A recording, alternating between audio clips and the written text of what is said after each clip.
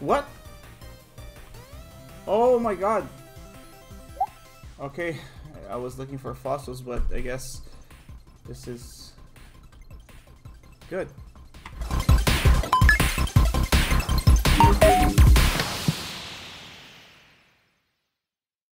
Okay, look, I don't know if Starbound actually has the hardest achievements in gaming, but I can say for sure that they are terribly unbalanced.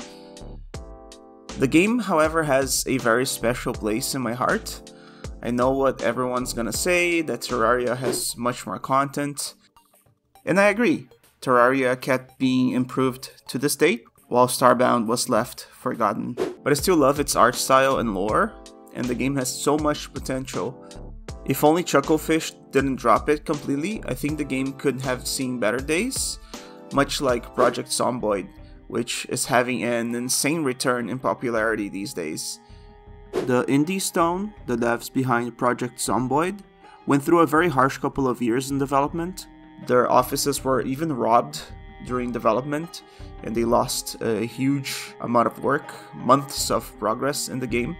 But they pulled through, and now the game is doing better than ever. So back to Starbound.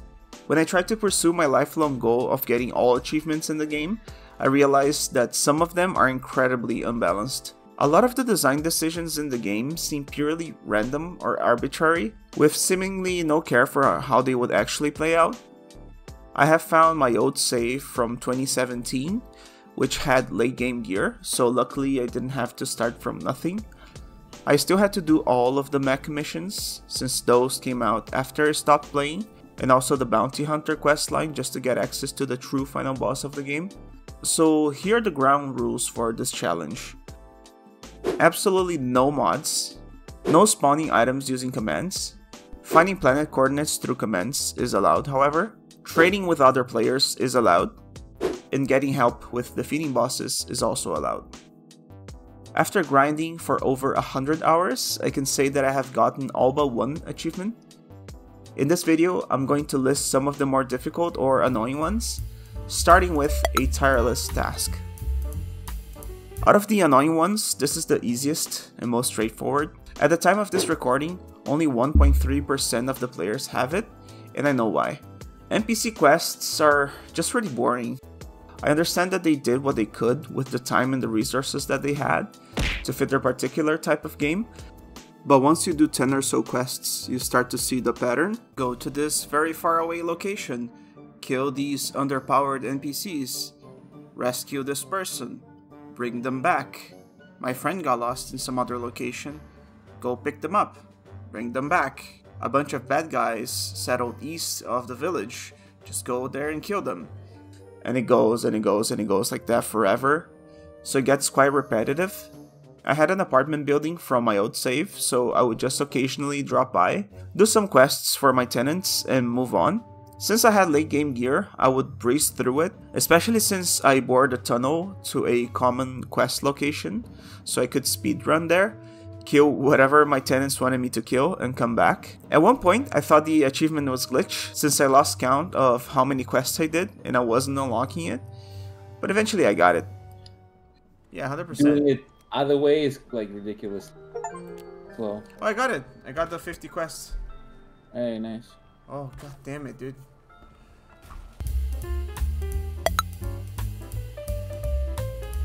So this one is also quite annoying to get Basically, you have to acquire all racial armor in the game.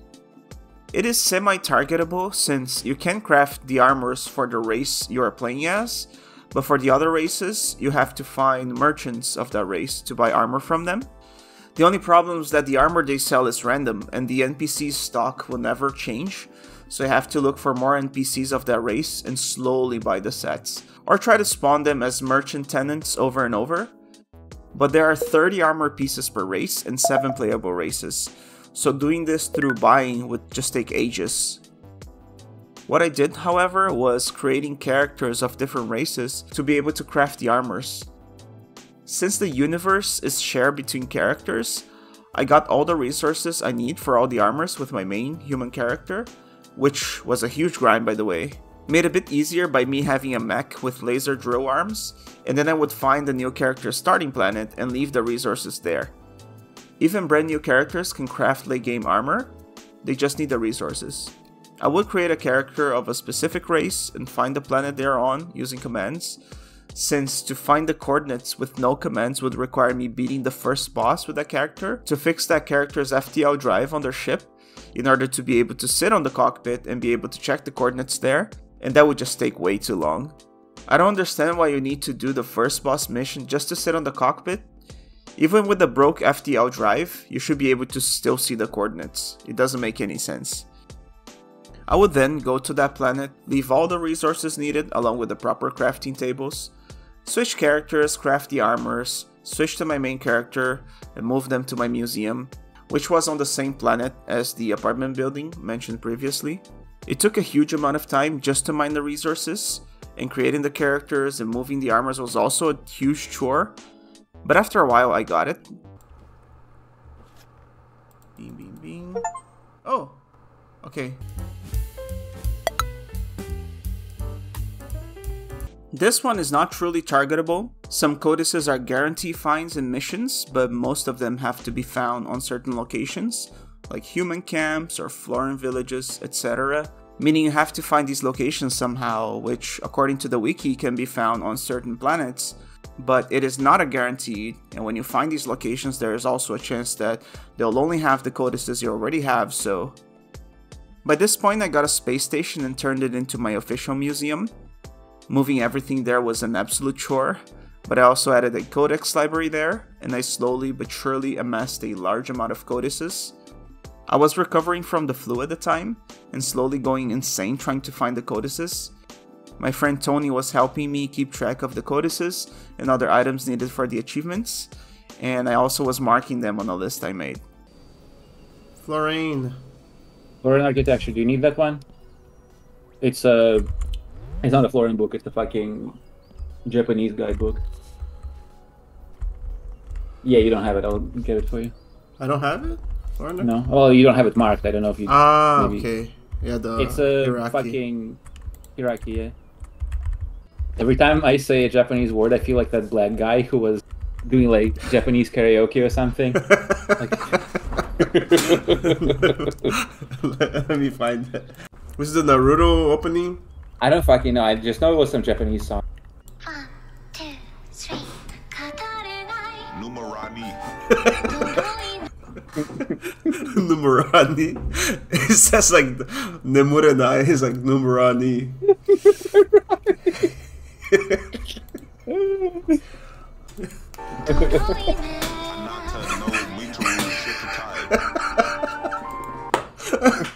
Anata no Mitaru Shikatai. Eventually though, I got it randomly after investigating an Apex lab. Side effects of Veep. I have that. Brain the jar. Oh, I got it! What was it? The achievement. Oh shit! Nice.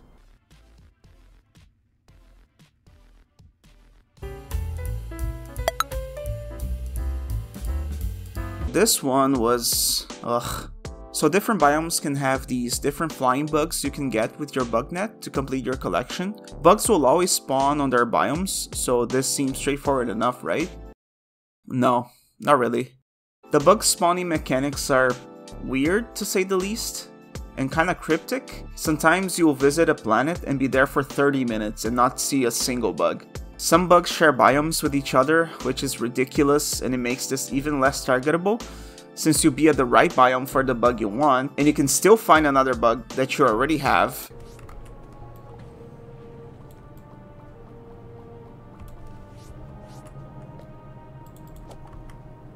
Shit! Fuck, it's not the proper one. God damn it, glow bug. Sh- Crap. Also, I can't truly confirm this, but apparently biomes will only spawn one type of bug per planet. So if you don't get the bug you need on a certain biome, you have to move to another biome or fly to another planet. This one took a massive amount of time. As I narrowed the list, it got harder and harder to find specific bugs that I needed.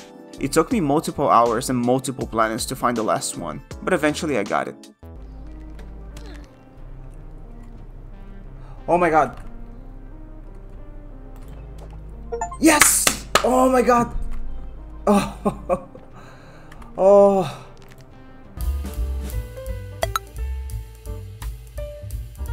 This one has got to be one of the most annoying achievements in the game. There are 55 unique fossil pieces to be found. When you find fossils on cavern walls and succeed on the little archaeology minigame, you are guaranteed to get a random fossil. Seems okay enough since there's only 55 fossils, but this system has what I call the No Man's Sky problem.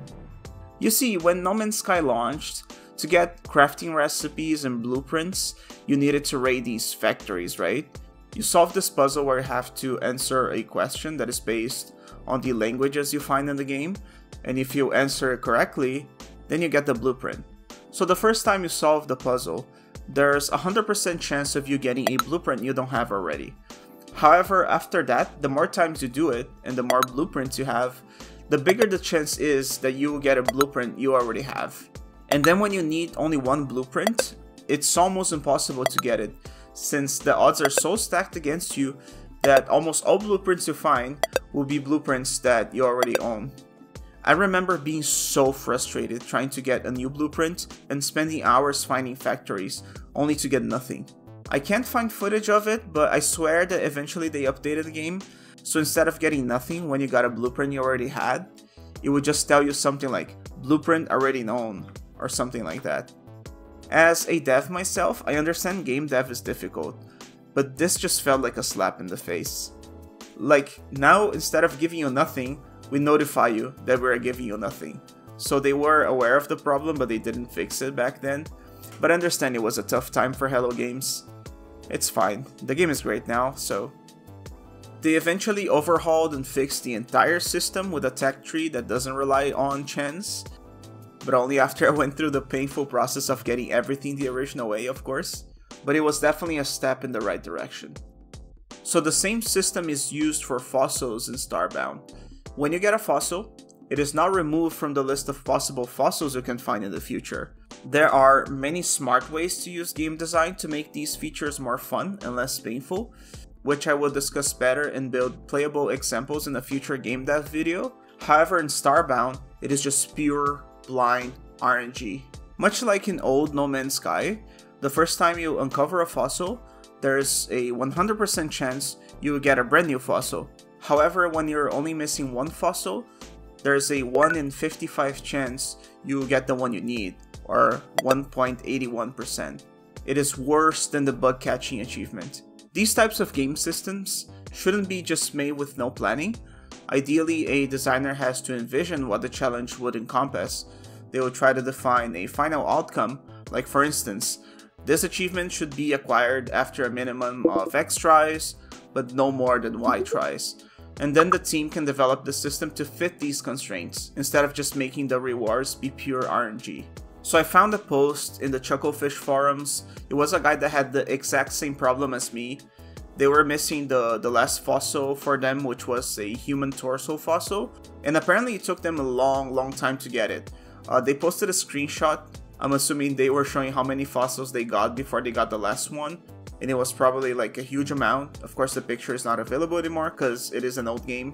But I'm not sure I wanted to see the picture because it would probably discourage me in my own journey trying to find the last one, and they just complained to Chucklefish, but of course no one replied.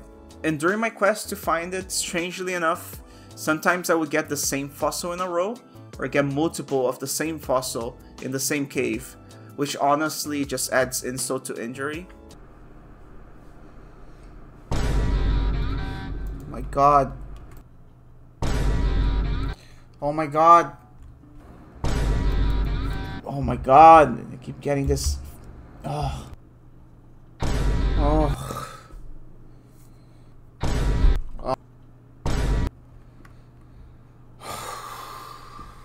I believe I made over 300 golden brushes and used them all just trying to get the last fossil I needed. So after a while I just started to get really frustrated. So I counted the total number of extra fossils I have. They totaled to 570 fossils.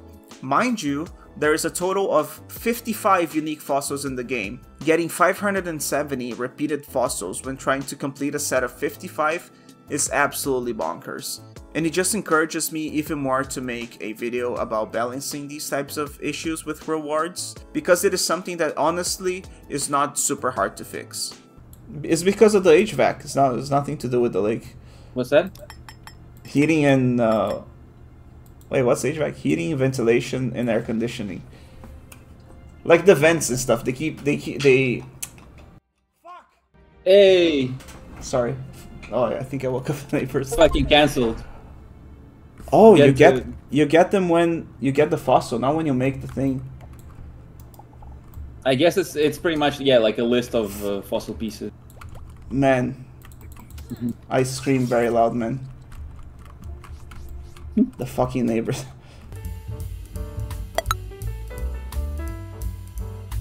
Now, this one, if it wasn't for one small detail, I think it would be the grindiest, hardest, most boring achievement in all of gaming. For this achievement, you have to collect a total of 10 million blocks. Let me just say that again. Someone at Chucklefish thought it was a good idea to make an achievement for players to mine 10 million blocks. And I understand that sometimes we have no idea of a challenge and how tough it should be, so we just pick an arbitrary number to start off. That is fine, but that is just an arbitrary number that we can balance later. Design is an iterative practice. We designers must refine game elements, game systems, game mechanics over multiple iterations. Things should be play tested and balanced. I am 100% sure this was never play tested and balanced. The first decision that was made was simply the final one and it was shipped with the game with no regards to the user. So 10 million blocks, let's just put that into perspective, shall we? Someone on the Steam forums did the math, so I don't have to do it.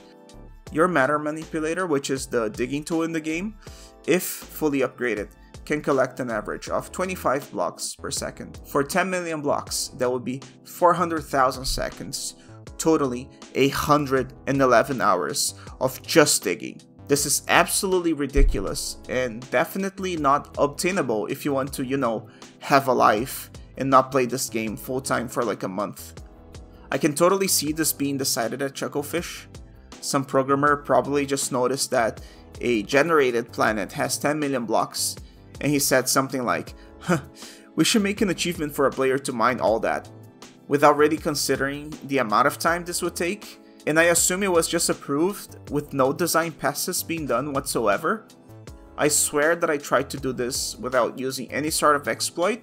I even chose a low level planet with a lot of soft material like dirt, got my fully upgraded mech, and started digging. I would watch many hour long YouTube videos on my second monitor while just digging and digging and digging, but then I realized I wasn't even making a dent in the achievement progress. I made an NPC merchant room just so I could sell all my blocks to easily dispose of them. So I caved, no pun intended. I learned that the achievement counts for the blocks you collect, not blocks you mine. So something people do is they fill their entire inventory with stacks of 1000 blocks. They die in lava, they respawn, and they collect the blocks. A full inventory holds 40,000 blocks, so each death gets you that amount maybe in 30 seconds, something that would take me maybe 10 or 15 minutes to get while manually digging with my mech. So if you do the math, it takes 270 deaths to get 10 million blocks. Still a lot of grinding, but at least it's doable in a lifetime.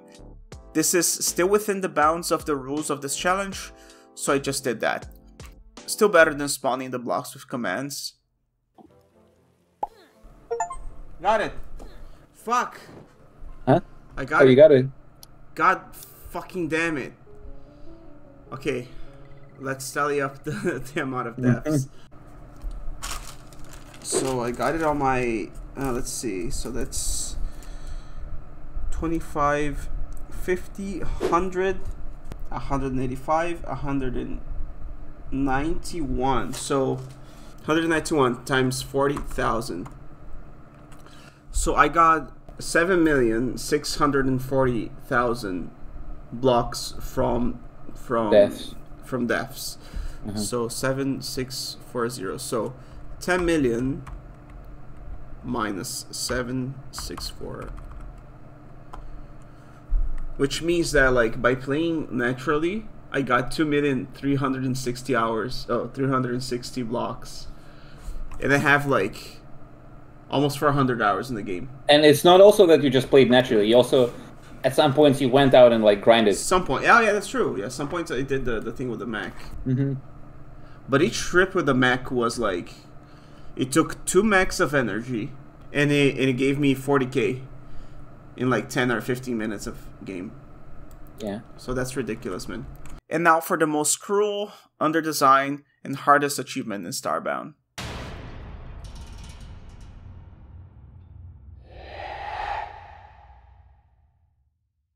So the game has infinite procedural creatures, but some of them are preset, unique to certain biomes in the game. These unique creatures, much like all bosses, have a chance of dropping their own action figure. There's only one issue though. The drop rate of most action figures is not 5%, is not 1%. It is an unbelievable 0.1%. An astounding 1 in a thousand drop rate. Sure, the creatures are easy to kill if you have late game gear, but even finding a thousand of them is a chore. And even if you kill a thousand of them, you're still not guaranteed to get a drop. And Starbound players, don't try to tell me about hunting weapons that increase the drop chance. Even if they do increase the drop chance of action figures instead of just meat and other mob drops, the chance would be so minimal that it simply does not make a difference. They take so long to fire, they're so inaccurate, and the bows take so long to draw that I'd be better off just using my late game weapons for faster kills. Chucklefish could have made them have way better drop rates for action figures, since most throwable hunting weapons are uncraftable and have a low fire rate, and the bows also take some skill to use, but they just added a minimal increase in the drop rate. I can show you this using a simple Monte Carlo simulation I built as a portfolio piece to apply to a certain game company a few months ago. So you're probably asking yourself what the heck is a Monte Carlo simulation? Uh, to explain, I'm gonna show you this uh, example of a shooting chance Monte Carlo simulation. Uh, so imagine you have a game where you can have different uh, conditions to the environment and different conditions to the characters, such as rain, fog, and the character can have missing eyes or a weapon that gives them uh, a better headshot chance and the target can be wearing armor and can be moving or not moving. You know, much like RimWorld, pretty much. And then you want to know the chances of landing shots or landing headshots or how much is your character going to miss uh, during a certain circumstance.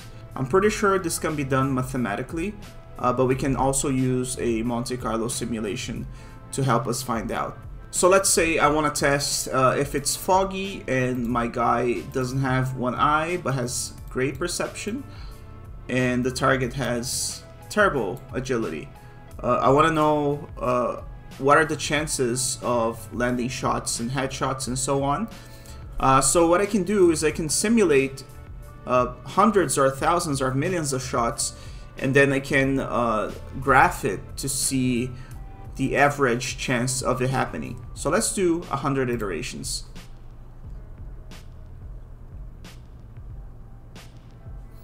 So you fired 100 shots, of which 39 were hits, and from those, 21 were headshots. So that's basically the accuracy of this scenario. Uh, so essentially a Monte Carlo simulation is when you have one or multiple inputs that can interfere with each other, and you just simulate it uh, thousands of times to try to get a result from that, right? Because if I just shot once and it missed, it's not that it's gonna miss every time. That doesn't represent much. But if I shoot uh, maybe 5,000 times, uh, then uh, the average of that is gonna give me a reference of those conditions and what they mean in the gameplay. Also, this takes too long, so I can just do an instant simulation. And the more iterations we do, the more uh, accurate it becomes. So you see, so this represents these inputs right here, see?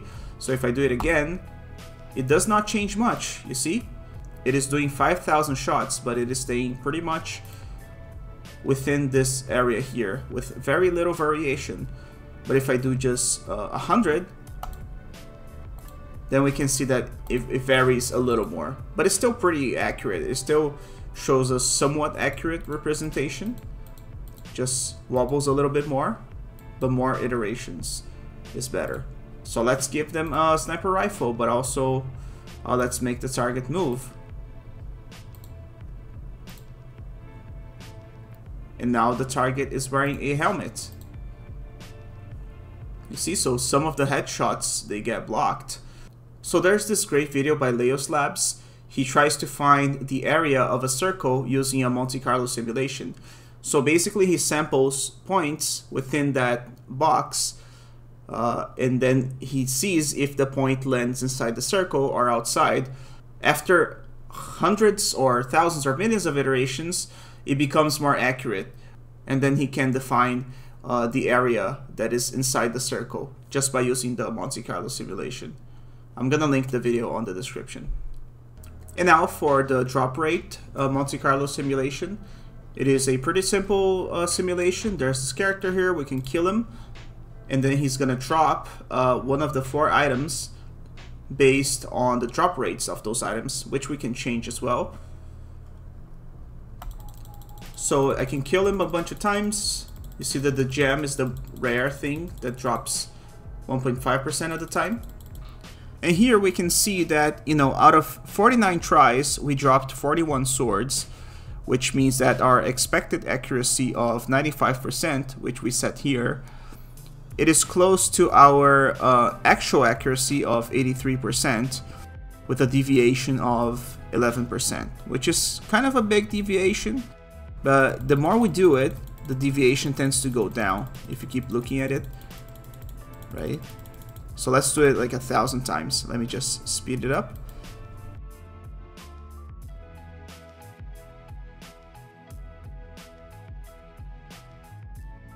Cool, so after a thousand tries, we can see that uh, our expected accuracy of 95%, it matches the actual accuracy pretty closely, so 94.3% uh, with a deviation of 0.7%, so that's pretty good. Um, and the same goes for the other items. So for Starbound, I'm gonna make everything unobtainable except for the gem. Uh, one in a thousand, I believe, is 0.1% in Starbound, so that would be the action figure. And let's kill it a thousand times. So we dropped one, that's that's pretty good. We dropped two. Yeah, I see, so one in a thousand chance or 0.1%. Uh, over a thousand tries we got two, so that's like better than the average. So let's try it again, but with instant results, so we don't have to wait for the poor skeleton to die like a thousand times. See, so we tried it again. We got one out of a thousand. Again, we got three. That's lucky. Tried again, we got zero. So that's unlucky, a little unfortunate. Which is a possibility. Uh, I have killed thousands of creatures in Starbound, and I haven't gotten action figures. Now we got one, we got zero, zero, one. So let's try over 50,000 uh, iterations. So now we got 50 uh, gems out of 50,000 tries. That is spot on. So expected accuracy of 0.1% and the actual accuracy of 0.1%. So that's perfect. A deviation of 0%. And as you can see, now we got 57, so a deviation of 0.01%. Um, and as you can see, like the more iterations, the more accurate the system becomes. Yeah, so deviation of, it's always less than uh, 1%, which is pretty good. But let's try a more reasonable uh, number here. So 140 creatures. I can kill 140 creatures, maybe in an hour or two of playing Starbound. Yeah, we got one. Yeah, but now we got nothing. And we got nothing again. And we got nothing again. And we got nothing again. And we got one. So uh, the chance is so low that it's kind of hard to predict, right? Because if it's something like 10% or 50%, so let's do let's do 10% for the sword, right? Yeah, out of 140 times, we get 11 times, right? So since the chance is so low, it's really hard to predict, right? Uh, Chucklefish could have done something like to increase the, the drop rate.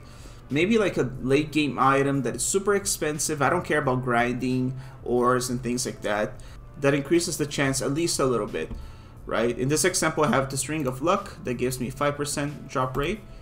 And now I can drop it 8 times out of 140 but it doesn't have to be 5%. Let's say if they made it like 1%. Killed 140 creatures, didn't get it, sure, that's fine. 140, I got 1, now I got 4, now I got 1, now I got 4, now I got 4 again, now I got 1, now I got 0. So if the chance was 1%, that that's okay, like that's doable, right? Um, so I truly believe that they should have balanced it more. Um, but I digress. Uh, I'll leave the link for these simulations on the description of the video. You guys can check my itch.io page uh, so you can take a look.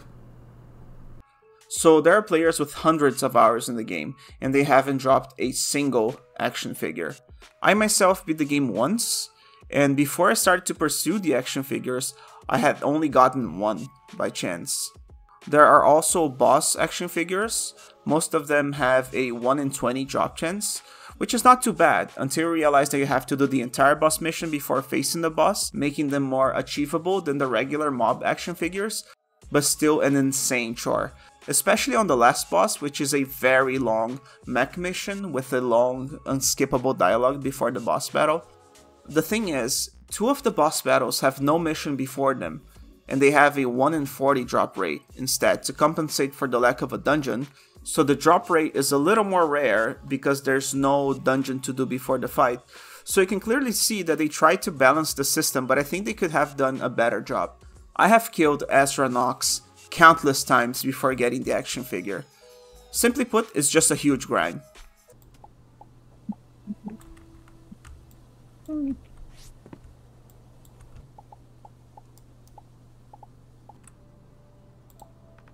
No, Igor.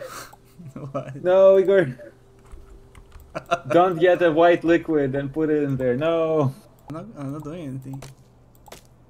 No.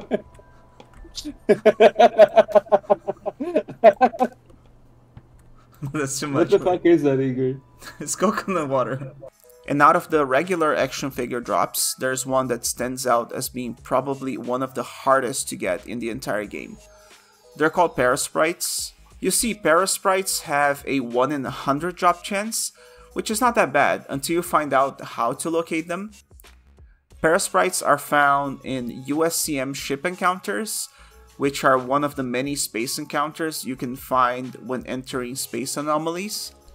So space anomalies are not based on coordinates or seeds, so you can't just type their coordinate on your ship to visit them. You have to visit any systems and just wait for them to appear randomly, making this not targetable at all. Upon entering an anomaly, you have to hope for RNGesus to generate the USCM ship encounter. The wiki states that there is a 1.7 chance of finding any specific encounter, so your chances are very, very low. So, upon finding the USCM ship, you can find three Parasprites inside. Yes, even after the insanely low chance of finding the ship, you have three shots at getting the drop of an enemy with a 1 in a 100 drop chance. They would not respawn, and the anomaly would disappear over time, and you have to find another one. There are just too many dice rolls in a row. Just so you have an idea, I have dedicated hours to finding the USCM ship and found it only once. I have obviously not dropped the action figure from any of the Parasprites there. Chucklefish clearly did not think this one through. It is truly a shame, and I understand that they were probably burnt out, they didn't want to work on it anymore, but this is something that could be addressed with a simple patch. They could just change the the rate of how many USCM ships you find. They could increase the number of Parasprites. They could make Parasprites spawn in other locations. There is a plethora of things that could be done to address this, but they just abandoned Starbound altogether. After a lot of grinding and many, many, many times doing the same dungeons over and over, me and my friend got all the boss trophies. We also got their more easy to drop boss weapons. A Woga. Awooga. no, no, put it back, put it back. I'm, I'm on the other window. A Woga. No, like don't don't fucking move. It's uh, like uh, bulging eyes. Awooga. We even managed to eventually get two boss figurines per boss so we could each have our own. Whenever my friend would drop a regular mob action figure, he would kindly donate them to my museum as well. Stretch goal race. Yeah, Oh, for the. Kickstarter. I got the Batong figurine. Dude, Tony's fucking modding the game. Stop modding this fucking game. fucking No. skill issue, man. Stop modding this fucking game, man. Three in a day is is. man. It took me fucking three days to get Ezra Knox. Fucking every day, like labor. I mean, I still don't have Ezra Knox, so. I eventually found a post on the internet from a guy called Dude Killer saying that he had multiples of an action figure. So I reached out asking if he could give me his duplicates, and I told him I had no duplicates of mine but could farm any resources to give him in return. He was really cool about it, saying he could give me the duplicates for free. I also let him hold some of mine, especially the boss ones, since just collecting them counted for the achievement, and then he gave them back. So shout out to Dude Killer for helping me with this. After I got all the other achievements, I found myself with a total of 24 action figures. I still have 26 to go, so I'm almost halfway. This was, of course, with the help from my friend Tony and Dude Killer, but I'm afraid this is as far as I'll get by myself.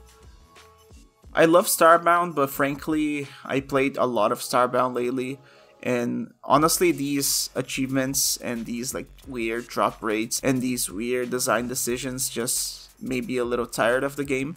So I'll put the game on my Steam Deck, I'll back up my save and I'll put it there. And I'll try to grind some action figures whenever I have some free time on the subway or at the dentist's office or something like that. But I still want the last achievement. At the point of this recording, 1% of the Starbound players uh, have this achievement, which is kind of weird because it is maybe harder than the other ones. Um, and I don't think most people that have the achievement got it without using mods or spawning in the action figures. You can easily mod the game to increase the action figure drop rates, and a lot of people do that, and I think there's no shame in that. But I want to be the person that gets the achievement without changing the game whatsoever, without using mods or without spawning in the action figures. I want to do it either by dropping them myself or by trading it with other people. Because I keep trying to make sense of the very, very low drop rates and the fact that you need 50 of them. And my theory is that Chucklefish envisioned Starbound to be this like massively successful game that everyone played, and then of course a lot of the hardcore players are probably gonna drop one or two or three uh, action figures, and then there would probably be a trading scene, kind of like trading cards. People would like exchange action figures, and then a lot of the hardcore players could get action figures this way. In that way, it makes sense for the drop chances to be so low. But since the game has died and there's no trading whatsoever, and everyone's modding the game and making the achievements easier, it just ruined everything. But this is what I propose to you guys. Maybe we can make this a collective achievement. If we crowdsourced this achievement, maybe everyone that participates can get it. If I have a few people helping me, maybe 20 or 25 people, each person focusing on one action figure, on one unique enemy, they could donate it to my collection in exchange of having access to the collection to hold every action figure that I have. At the end of it all, I can host my save to whoever participates, so you can visit my space station where you can get a few of the hardest achievements I mentioned in the video, because that's where I keep all the armor, that's where I keep the llama costume, which I didn't mention on this video, but it's also a little bit annoying to get. I keep the fossils there and I keep the action figures there. So if you have Starbound in your library and you want to play the game, or you have played before, or even better, if you have an old save and you either have some action figures laying around and you wouldn't mind donating them to the museum, or if you want to grind to get a specific action figure, then maybe we could turn this around and make this terribly balanced, painful experience into something fun. As of this recording, I need 26 action figures, so if I could get maybe 24 people to each laser focus on a single action figure each, my friend Tony and I could focus on specific mobs as well. We could probably get this in no time. I'll make a spreadsheet containing the action figures that I have and I'll keep it updated so people don't try to get action figures already in the collection. I know this is a huge stretch since Starbound is a game from 2014 and most people prefer Terraria and a lot of people hate the game, but I do believe that this can be achieved eventually. So expect a future video about the last achievement. In the meantime, I will for sure make a video about better ways to do random loot drop chances and unlocks. I'm gonna do it in Unity, I'm gonna upload uh, a version of the project so everyone can try to experiment around the drop chances. And until then, I will be grinding for the action figures on my Steam Deck.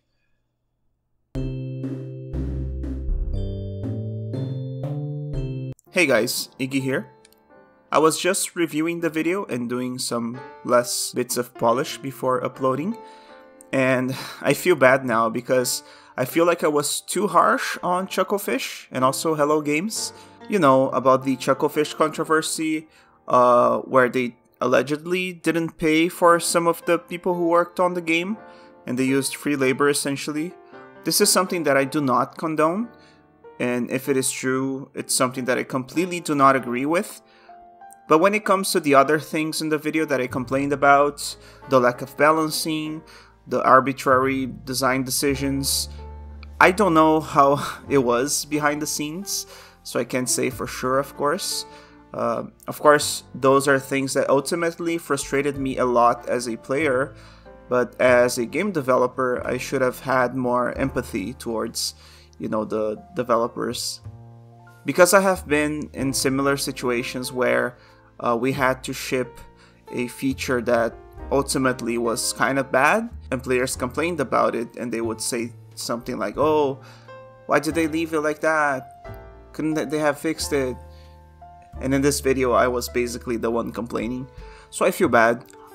You know, sometimes there are issues that are bigger than us, like burnout is a big one. Sometimes you've been working on a game for years and years and years, and development seems perpetual and it seems like it's never gonna end. It's like Derek Yu, the creator of Spelunky, said in his book the last 10% is the last 90%, and it really does make sense. Um, I have been in situations where, you know, something as easy as changing a variable to patch something, it seems like such a huge amount of work because you're so burnt out from it. So I do feel bad that I badmouth Chucklefish. However, it's just me wishing that the game was better because I love it a lot. I have a lot of good memories playing it uh, when I was a little younger. And with Hello Games, you know, I was really frustrated uh, with No Man's Sky at launch, just like most people. Uh, but I can say for sure that the game these days it is amazing. It is a great game. I have played a lot after launch. Each update made the game better. And a lot of systems that I used to hate when the game launched, they were completely scrapped and they were properly balanced. And now the game is super fun. So if you haven't played it, you should play it. Yeah, so I just wanted to say this, uh, just a small update uh, if you're a Dwarf Fortress fan.